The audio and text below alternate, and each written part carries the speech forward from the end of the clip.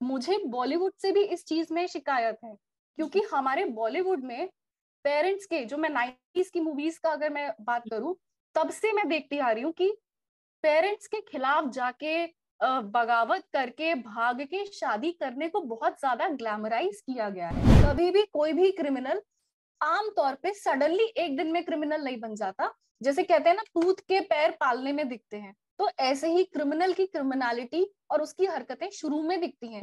नमस्कार, स्वागत है आप सभी का लोकमत हिंदी पर। मैं हूँ आपके साथ मेघना सचदेवा। राजधानी दिल्ली में एक दिल दहला देने वाला मामला सामने आया, जहाँ पर एक व्यक्ति ने अपने लिव इन पार्टनर की, ना सिर्फ़ हत्या की, बल्कि उसके शव के कई टुकड़े कर दिए और उसे 18 दिनों तक अलग अलग जगहों पर ठिकाने लगाया। हम बात कर रहे हैं श्रद्धा मर्डर केस की और उस पर बात करने के लिए हमारे साथ डॉक्टर हिमिका अग्रवाल मौजूद हैं। मैम बहुत बहुत स्वागत है लोकमत हिंदी पर आपका। नमस्ते। हिमिका जी देखिए एक ऐसा मामला सामने आया जिसने सभी को झकझोर कर रख दिया है और एक सवाल सभी के मन में है कि एक व्यक्ति ने ना सिर्फ़ जिससे वो प्यार करने के दावे करता है उसकी हत्या की बल्कि हत्या के बाद एक ऐसी साजिश की कि सारे सबूत मिट जाए। क्या इसका किसी व्यक्ति के दिमागी संतुलन से कोई रिश्ता हो सकता है? क्या कुछ उसके दिमाग में ऐसा चल रहा था कि ये सिर्फ़ एक हत्या नहीं, बल्कि पूरी प्लान की हुई उसकी साजिश थी, जिसको उसने तरीके से अंजाम दिया है। इस पर आप क्या कहेंगी? देखिए, पहली बात मैं कहूँगी, ये बहुत ही डेलिकेट मुद्दा है, बहुत ही हम नाजुक मुद्दे से डील कर रहे हैं। तो ये आपके चैनल का बहुत अच्छा इनिशिएटिव है कि इस चीज़ को आपने टच किया, इसमें हिम्मत करी कि हम इसको एड्रेस करें। और मेरा ये सौभाग्य है कि मेरे व्यूज़ इस चैनल के द्वारा मैं व्यक्त कर सकती हूँ। और उनमें आँख कोई अग्री करे ना करे क्योंकि this is very this is very sensitive और इसके बहुत सारे रिलीजियस पॉलिटिकल बहुत सारे रिकपर्कशन भी हो सकते हैं। लेकिन अगर हम इसमें घबरा गए तो हम शायद सुधार नहीं कर पाएँगे। तो अब क्वेश्चन है आपके कि जैसे आपने पूछा कि क्या ये साजिश थी क्या आ, क्या था क्या?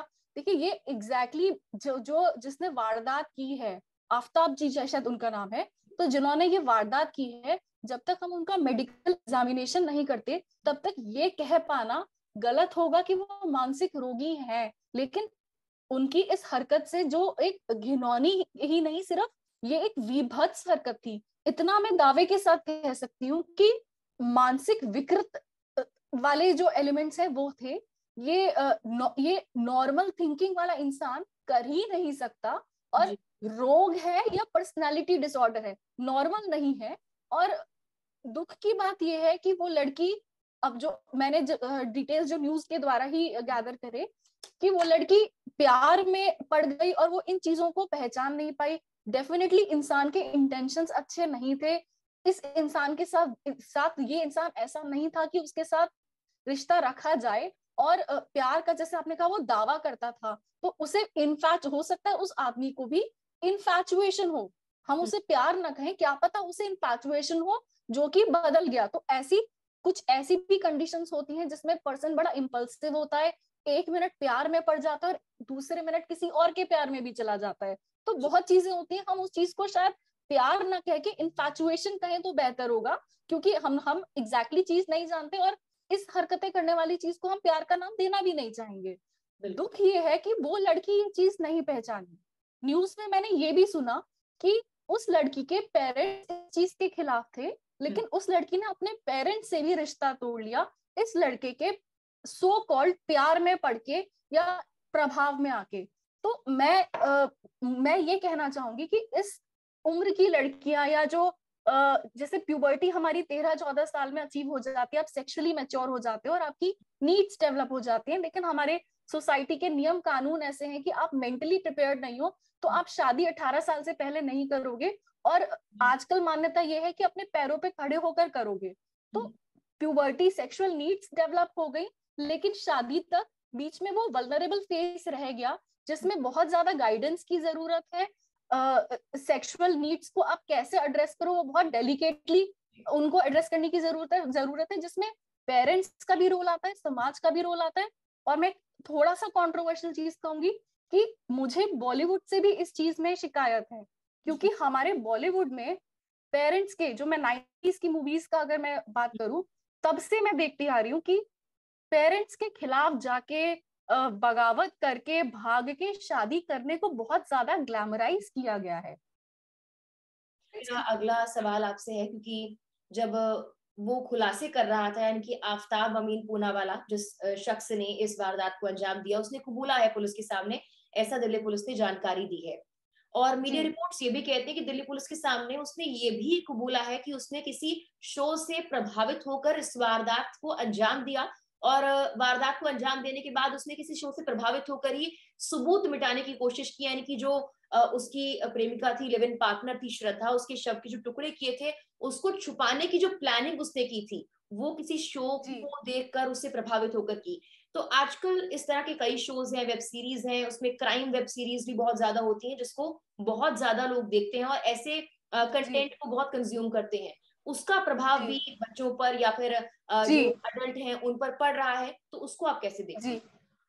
जी इसमें मीडिया की सेंसर बोर्ड की बहुत ज़्यादा ज़िम्मेदारी है हम्म। जब से ओटीटी प्लेटफॉर्म आया है तब से मोबाइल फ़ोन और ओटीटी छोटे छोटे जो वयस्क भी नहीं है उन बच्चों के हाथ में पहुँच गया है और वो क्या कंटेंट देख रहे हैं हमें उनको फ़िल्टर कर पाना पेरेंट्स के लिए बहुत मुसीबत बन गई है कहीं ये हमारी लीगल अथॉरिटीज की हम्म। ज़िम्मेदारी है कि वो so called freedom of expression की जो लॉबी uh, है उसके दबाव में आके गलत कंटेंट को अलाउ ना करें प्रमोट ना करें और इस चीज़ को गंभीरता से लें क्योंकि ये सिर्फ़ हाई फाई या हाईली एजुकेटेड लोग कंज्यूम नहीं करे समझदार लोग कंज्यूम नहीं करे। गाँव के बच्चे कम पढ़े लिखे लोग हर तरह के लोगों तक ये ओटीटी प्लेटफॉर्म्स जा रहे हैं इनका कंटेंट जा रहा है और आम आदमी पर इसका बहुत बड़ा प्रभाव पड़ता है। शायद सेलिब्रिटीज को इतना प्रभाव नहीं पड़ेगा। वो सिक्योर हैं वो फाइनेंशियली सिक्योर हैं उनके पास एजुकेशन है सब कुछ है। लेकिन आम इंसान गर्ल्स स्कूल में पढ़ने वाले बच्चे जिनको लड़कों से जिनका इंटरेक्शन नहीं है हम्म। छोटे उम्र के लड़के टीनेज लड़के जिनका लड़कियों से बहुत इंटरेक्शन नहीं है वो इन चीज़ों के प्रभाव में आते हैं। तो ये हमारी ज़िम्मेदारी है कि हम और अगर हमारी लीगल अथॉरिटीज इन चीज़ों पर एक्ट नहीं करती हैं। तो हम्म। हमें हमें आ, समा हमारा समाज का ये रिस्पॉन्सिबिलिटी है कि हम दबाव डालें। एनजीओ बहुत सारे माध्यम है कि हमारे कंटेंट को प्योर तरीके से और पॉजिटिव तरीके से दिया जाए। और अगेन फ्रीडम ऑफ़ एक्सप्रेशन के गार्ड में रूब्रिक में आप कुछ भी नहीं दिखा सकते। तो ये बहुत ज़रूरी है। क्राइम अगर आप दिखा रहे हो तो हम्म। कभी क्रिमिनल्स को एक और चीज़ डॉन जैसे मूवी थी। तो हम्म।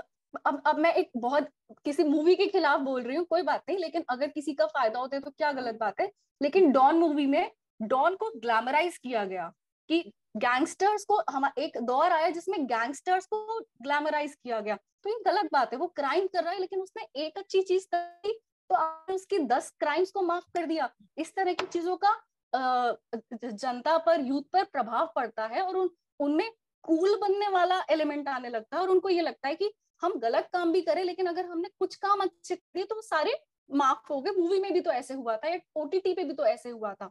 तो हमें ये भी, जो किसी भी मूवी ओटीटी का एजेंडा है, आप किस तरह से पोर्ट्रे कर रहे हो, किसी कम्युनिटी को किसी तरह से पोर्ट्रे कर रहे हो, या किसी एक्ट को, या स्पेशली क्राइम को किस तरह से पोर्ट्रे कर रहे हो क्राइम को ग्लैमराइज तो नहीं कर रहे हो। वो बहुत ज़रूरी है। और स्पेशली गैंगस्टर टाइप मूवीज़ में आई हैव एन ऑब्जेक्शन कि it should not be glamorise and ultimately दिखाई जाती है उससे कितनी अलग वाकई जो इंसान है उनकी दुनिया है उसमें अगर हम देखेंगे या उसके बारे में जानेंगे तो बहुत सारी चीज़ें अलग मिलेंगी और उससे प्रभावित होकर इस तरह के क्राइम से हिमिका जी अगला सवाल ये है कि अगर हम आफ्ताब का उदाहरण ना भी लें क्योंकि आपने कहा कि मेडिकल एग्जामिनेशन होगा उसके बाद ये कहना सही होगा कि वो मानसिक रोगी थे भी या फिर नहीं। उन्होंने कैसे क्यों सब कुछ किया वो जी, जी. बात ही साफ़ हो पाएगा लेकिन अगर हम आफ्ताब की जगह कुछ और उदाहरण भी लें क्योंकि लगातार ऐसे केसेस सामने आ रहे हैं जहाँ पर गुस्सा आप पर हावी हो जाता है छोटी छोटी बात हम्म। पर झगड़े हो जाते हैं झगड़े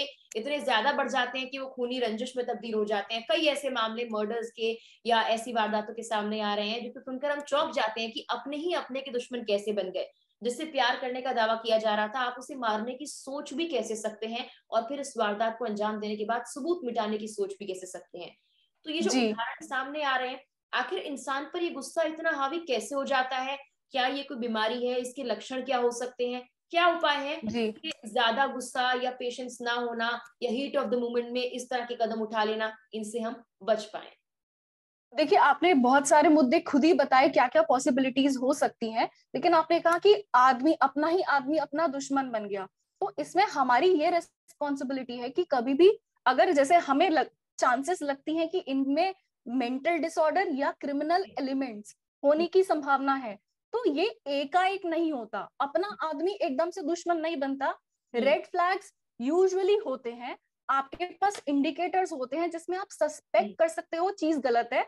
आपका सब कॉन्शियस है जिसे हम कहते हैं वाइब्स कुछ गड़बड़ आ रही हैं मन खटक रहा है कि नहीं गड़बड़ है। लेकिन कई बार आप हॉर्मोन्स में जिसे आप सोच रहे हो कि प्यार है इमोशन है उसमें बह के आप उन रेड फ्लैग साइंस को इग्नोर करते हो। वो रेड फ्लैग साइंस क्या है?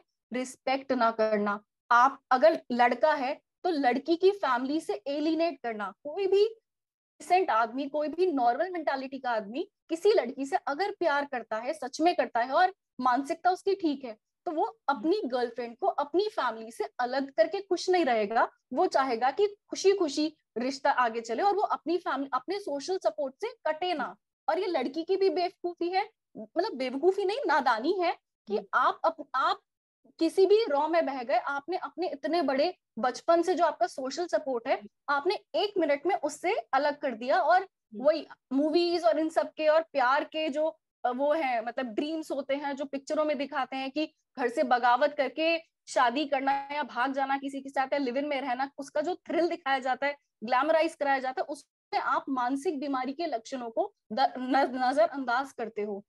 कई हम्म। बार जो हल्के हल्के लक्षण हमने देखे हैं ओपीडी में जो लड़कियाँ आती हैं लिव इन में रहती हुई भी और शादीशुदा भी वो कहती है कि हस्बैंड बहुत ज़्यादा शक करते हैं।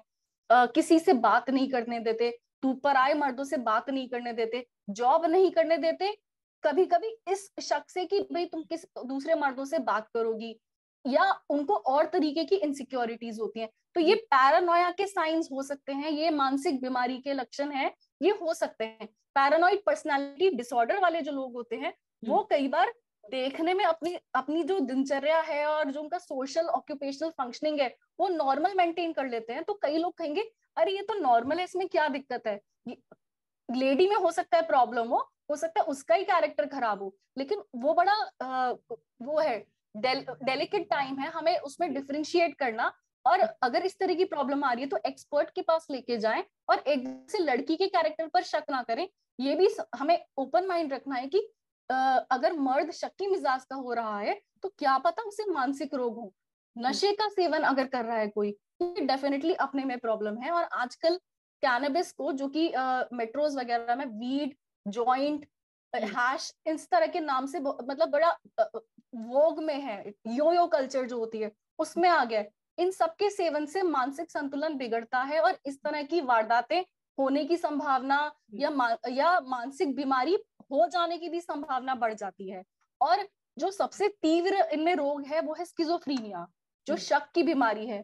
कई बार हमने देखा गया है कि इस तरह से पीड़ित लोग या तो बाइपोलर अफेक्टिव डिसऑर्डर जिसमें मेनिया भी एक लक्षण है या स्किजोफ्रीनिया या साइकोसिस जिसे हम कहते हैं इस तरह की बीमारियों में भी लोग इस तरह की हरकतें कर सकते हैं।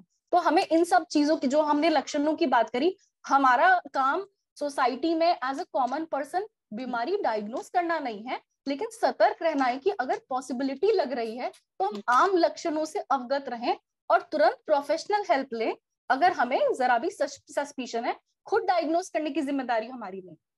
बिल्कुल हेमिका जी बहुत बार ऐसा होता है कि व्यक्ति नहीं पहचान पाता कि उसको मेंटल डिसऑर्डर है भी या फिर नहीं और कई बार गुस्सा बहुत ज़्यादा आता है। तब आसपास के लोग ये सलाह देते हैं कि आप कोई उपाय करें जिससे गुस्सा कम हो जाए क्योंकि पेशेंस जो है वो आजकल लोगों में बहुत कम नज़र आता है। कई मामले सामने आते हैं जहाँ पर पेशेंस कम है या फिर गुस्सा ज़्यादा आ गया और हाथ उड़ गया या इस तरह की वारदात को अंजाम दे दिया जी। गुस्सा कंट्रोल करने के लिए क्या कर सकते हैं?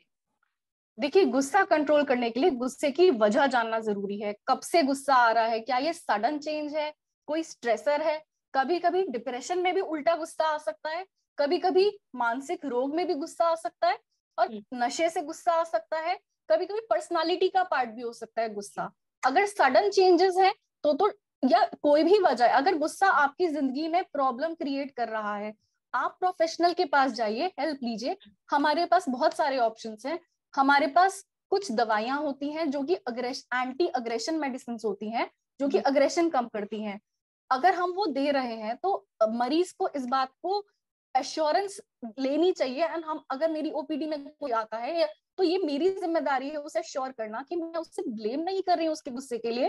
मैं उससे हेल्प कर रही हूँ। कई बार लोग डिफेंसिव हो जाते हैं। नहीं नहीं, हमें इतना गुस्सा नहीं है। हम, हमें दवाई की ज़रूरत नहीं है। उसके घर वालों की क्या ये दायित्व है कि वो अगर दवाई खाने को तैयार हो गया गुस्से की तो उसे बात बात पे ताना ना दे, तुम तो गुस्से के मरीज़ हो। वो हेल्प करें सपोर्ट करें अप्रिशिएट करें कि वो अपने गुस्से को इलाज, का इलाज ले रहा है। हमारे पास मूड स्टेबिलाईजर्स भी हैं, जो मूड को स्टेबल करती हैं। मूड स्विंग्स जिनमें गुस्सा आ सकता है, वो भी स्टेबल करती है। और लास्टली हमारे पास साइकोथेरेपी भी है काउंसलिंग भी है जिसमें एंगर मैनेजमेंट टेक्निक सिखाई जाती है। लेकिन अगर बहुत तीव्र गुस्सा आ रहा है तो वो शायद इतनी इफ़ेक्टिव नहीं होगी। और पर्सन uh, जो पेशेंट है वो कोऑपरेट करने के लिए पार्टिसिपेट uh, करने के लिए मेहनत करने के लिए राज़ी है प्रिपेयर्ड है फोकस करने के लिए प्रिपेयर्ड है। तब हम काउंसलिंग में एंगर मैनेजमेंट कर सकते हैं। हम ज़बरदस्ती पकड़ के काउंसलिंग नहीं कर सकते। काउंसलिंग ये समझना पड़ेगा। कई बार मरीज़ कई बार घर वाले आते हैं मरीज़ इस हालत में नहीं होता कि वो ठीक से बात भी कर पाए लेकिन कहते हैं इसकी काउंसलिंग करिए। तो उनको समझना ज़रूरी है हर किसी की काउंसलिंग नहीं करनी होती। कई बार काउंसलिंग मना होती है कुछ केसेस में नुकसान भी कर सकती है और जब पेशेंट उसके भी क्राइटेरिया है कि क्या पेशेंट फिट है काउंसलिंग के लिए तो अगर पेशेंट फिट है जिसमें से कुछ इंपॉर्टेंट क्राइटेरिया है कि वो कोऑपरेटिव uh, है वो अग्री कर रहा है। Counselling hmm. ज़बरदस्ती नहीं कर सकते। तो अनलेस कोर्ट मैंडेटेड हो जो कि वेस्टर्न कंट्रीज़ में कोर्ट मैंडेटेड काउंसलिंग काफ़ी चलन में है। अभी इंडिया हम्म। में इतना चलन में नहीं है। अदरवाइज़ हम्म। काउंसलिंग के लिए विलिंगनेस होनी बहुत ज़रूरी है। पार्टिसिपेट करने का जज्बा होना बहुत ज़रूरी है। नहीं तो काउंसलिंग कारगर नहीं होगी। लेकिन अगर हम थोड़ी अवेयरनेस बढ़ाएँ स्टिग्मा कम करें तो शायद बहुत लोग एंगर मैनेजमेंट से रिलेटेड काउंसलिंग के लिए सामने आए और हम उनकी मदद कर पाए। बिल्कुल। और हमारे पास देखिए काउंसलर्स हैं बहुत हाँ सॉरी बोलिए। इसी केस में और बहुत सारे जो पहलू हैं, वो भी सामने आए हैं। और इसमें एक पहलू ये भी सामने आया है कि अभी पुलिस की रिपोर्ट्स के मुताबिक कहा जा रहा है कि श्रद्धा और इस मामले में आफ्ताब की लड़ाई इसीलिए हुई थी क्योंकि वो शादी का दबाव बना रही थी। शुरुआत में वो रिश्ते में खुश थे, ये श्रद्धा के दोस्तों ने कहा है। लेकिन बाद में लड़ाइयाँ बढ़ती गई। और श्रद्धा ने एक बार अपने दोस्तों को फ़ोन कर बताया कि अगर इस रात में आफ्ताब के साथ रहती हूँ तो वो मुझे मार देगा। यानी कि श्रद्धा को पहले से एहसास हो गया था कि उसके साथ क्या हो रहा है, लेकिन वो उस रिश्ते से बाहर नहीं निकल पा रही थी। वो उस व्यक्ति से प्यार करती थी या उसके साथ रहना चाहती थी, भले ही वो रह ना पा रही हो। यानी कि वो एक्सेप्ट नहीं कर पा रही थी कि उसके साथ हो क्या रहा है। तो उस मामले को लेकर क्या कर सकते हैं? क्या वाकई ये भी एक मेंटल डिसऑर्डर हो सकता है या इसमें हम क्या उपाय कर सकते हैं? देखिए इसमें मैं ये कहूँगी कि कहीं शायद ये भी पक्का नहीं है क्योंकि अब वो रही नहीं तो हम क्या बोले? शायद उनकी उन उनमें मेच्योरिटी की कमी थी या वो इमोशंस में बह गई जो उन्होंने जो रेड फ्लैग्स हमने डिस्कस करे उन्हें इग्नोर कर दिया। कभी भी कोई भी क्रिमिनल आम तौर पे सडनली एक दिन में क्रिमिनल नहीं बन जाता। जैसे कहते हैं ना टूथ के पैर पालने में दिखते हैं। तो ऐसे ही क्रिमिनल की क्रिमिनलिटी और उसकी हरकतें शुरू में दिखती हैं। कई बार जो लोग बहुत अग्रेसिव होते हैं वो पब्लिक में पार्टीज़ में बहुत प्लेजेंट लगते हैं। क्लोज क्वार्टर्स में अगर आप आए तो उनका अग्रेशन सामने आता है। लेकिन अगर वो स्टेज पे खड़े हैं तो वही अग्रेशन स्टेज की रौनक बढ़ाता है और uh, वो पब्लिक को ऑपोजिट जेंडर को अट्रैक्ट करता है। क्योंकि कॉन्फिडेंस इट उस वक्त उनका कॉन्फिडेंस दिख रहा होता है और उनके पास कोई अपोज करने को नहीं होता कई बार इस तरह से होता है कि आप स्टेज पर खड़े हो या किसी अथॉरिटी की पोजीशन में खड़े हो तो आप बहुत प्लेजेंट और कॉन्फिडेंट लग रहे हो आपकी बात कोई काट नहीं रहा लेकिन जब आप घर आपकी बीवी ने आपसे आपकी गर्लफ्रेंड ने आपसे बात काटी तो वही कॉन्फिडेंस अग्रेशन में बदल गया तो हम्म। लड़कियों को ये चीज़ भी पहचानने की ज़रूरत है इस क्योंकि हम इस केस में लड़का लड़की की बात कर रहे हैं तो it applies to both genders कि जिस चीज़ से हम अट्रैक्ट हो रहे हैं। वो उसे सिर्फ़ एक एटमॉस्फेयर uh, में एक एनवायरमेंट में नहीं हर एनवायरमेंट में टेस्ट करके देखें कि क्या इनका बिहेवियर परवेजिव है क्या ये हर वक्त उस तरह से बिहेव कर रहे हैं। ऐसा तो नहीं है कि पब्लिक में ही इज़ वेरी अपीलिंग लेकिन पर्सनल लाइफ में या कहीं पेरेंट्स के साथ झगड़ा कर रहे हो फ्रेंड्स के साथ झगड़ा कर रहे हैं उनकी बात कट जाए तो ये झगड़ा करें बात ना कटे तो बहुत अच्छा गाना गा रहे हैं पोएट्री कर रहे हैं और एक्टिंग कर रहे हैं सब कर रहे हैं तो इस तरह से ये भी हमने देखा है कि बहुत अच्छी पर्सनालिटीज जो पब्लिक प्लेटफॉर्म्स पर बहुत अच्छी लगती हैं पर्सनल लाइफ में वही उनका ट्रेट बहुत खराब हो जाता है और कई बार फैमिली मेंबर्स को विमेन को वो चीज़ झेलनी पड़ती है और कई बार लोग विश्वास नहीं करते कि इतने अच्छी पर्सनालिटी वाला इंसान क्यों ऐसा कर ही नहीं सकता। तो हमें हर इन्वायरमेंट में उस इंसान को टेस्ट करना है सिर्फ़ एक चीज़ को देख के इन्पैचुएट नहीं होना और कमिटमेंट देने से पहले धैर्य रखें एक एक इमोशन पे न बहे ठंडे दिमाग से अगर चीज़ें स्टेबल है तभी एक्ट करें। और अगर आपको कभी भी हल्का भी खटक रहा है तो अपनी इनर वॉइस को दबाए ना। और अगेन हम्म। जैसे मैंने आपको बोला कि पिक्चरों में ग्लैमराइज किया जाता है कि जो पेरेंट्स लव मैरिजेस के खिलाफ हैं वो कितने खराब हैं उनको क्रिमिनल्स की तरह पोर्ट्रे किया जाता है। तो ऐसा हमेशा नहीं होता। अगर पेरेंट्स कुछ समझा रहे हैं तो हम ब्लाइंडली कहें, नहीं, हमें इससे प्यार है और पेरेंट्स प्यार के खिलाफ हैं तो इनको अलग करो, भाग जाओ। ऐसा नहीं है, कई बार पेरेंट्स हो सकता है, हमें कंपैटिबिलिटी इशू समझा रहे हो, क्योंकि वो हमें बचपन से जानते हैं, उनको ज़्यादा एक्सपीरियंस है तो it's not always so but हम उनको डिस्काउंट नहीं कर सकते और पूरी तरह से इग्नोर नहीं कर सकते और पेरेंट्स को रिस्पेक्ट दे के उनके भी ओपिनियन को सुनना चाहिए।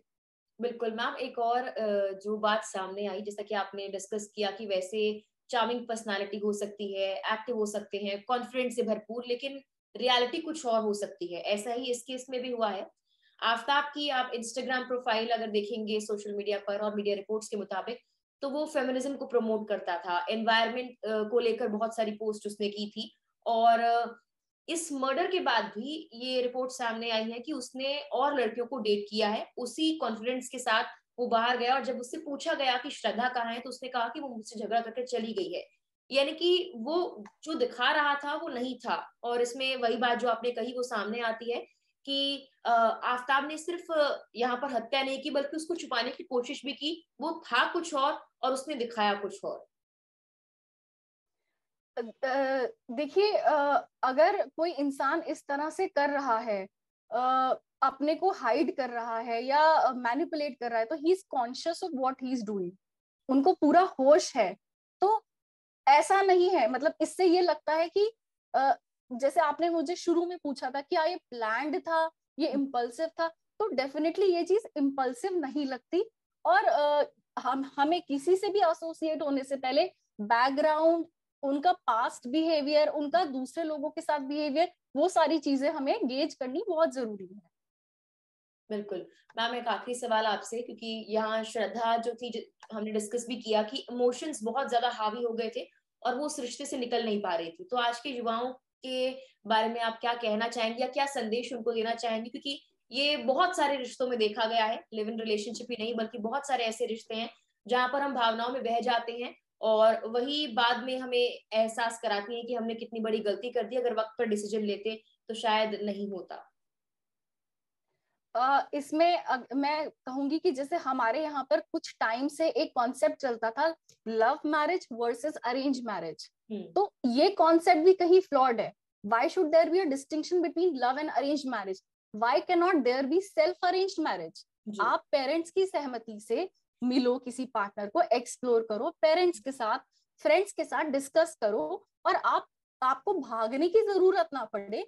सबके इनपुट डिसीज़न खुद लो और इतनी बुद्धि अपने अंदर रखो। आप ये परवरिश का भी इसमें रोल है मीडिया का भी रोल है कि थिंकिंग कैसे डेवलप होती है कि आपको भाग के लव मैरिज सो कॉल्ड की भाग के लव मैरिज करे उसकी ज़रूरत ना पड़े।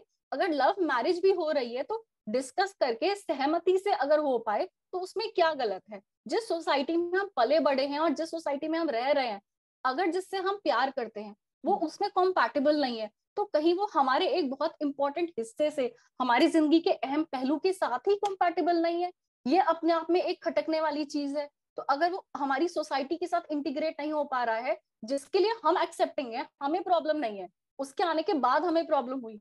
तो हमें ये सोचना चाहिए ये कुछ गड़बड़ है ये मेरी सोसाइटी के साथ क्यों इंटीग्रेट नहीं हो रहा मुझे भागने की ज़रूरत क्यों पड़ रही है?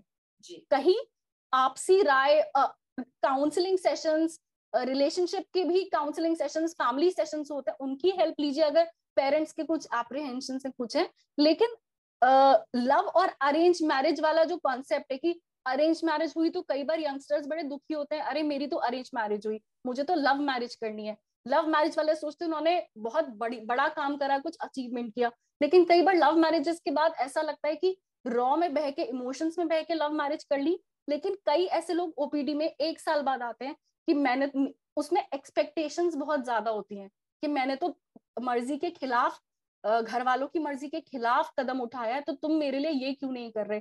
एंड वाइस वर्सा तो उस चीज़ में वो कई बार कंपैटिबिलिटी नहीं देखते। कंपैटिबिलिटी देखने के लिए आपको अपना सोशल समाज वो सब भी ज़रूरी है। आप उसे पूरी तरह से अपने कल्चर को पूरी तरह से इग्नोर नहीं कर सकते। और कहीं लव अरेंज के बीच में सेल्फ अरेंज की तरफ़ अगर हम मूव करें उसे एक्सेप्टेंस दे तो वो बेटर होगा सभी के लिए बेटर होगा। और इस तरह के इंसिडेंसेस हम अवॉइड कर पाएँगे। बिल्कुल भावनाओं में ना बहकर सही गलत का फैसला हम पेशेंस से करें और सोच समझ कर हर फैसला लें जिसमें कुछ लोग हो जिनकी राय भी काफ़ी ज़रूरी होती है काउंसलिंग या फिर अपने आसपास के जो लोग हैं, जिन पर हम भरोसा कर सकते हैं, उनकी राय भी।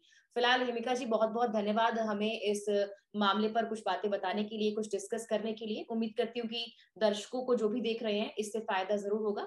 फ़िलहाल के लिए आपका बहुत बहुत धन्यवाद और इस वीडियो में इतना ही। तमाम और इस तरह की वीडियोस के लिए लोकपत हिंदी को आप लोग देखते रहिए।